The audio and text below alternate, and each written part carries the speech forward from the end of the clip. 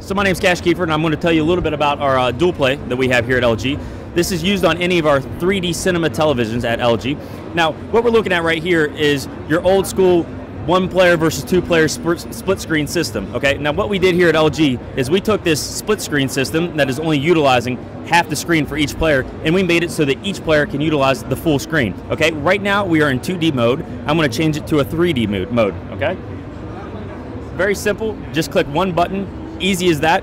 And what you see right here are two displays on the same screen, all right? You can kind of see a back image and a front image. Now, we use the 3D technology to make a 2D image visible for two different people. Now, if you look at this through your normal glasses right here, you're not going to see anything. It's going to be all completely crazy. If you squint one eye and look at it just out of your left, you're going to see the back image. So what we did is we made another pair of glasses. They're called dual play glasses, and these both have left lenses in them. So two left lenses. When I put these on, I only see the back image, okay?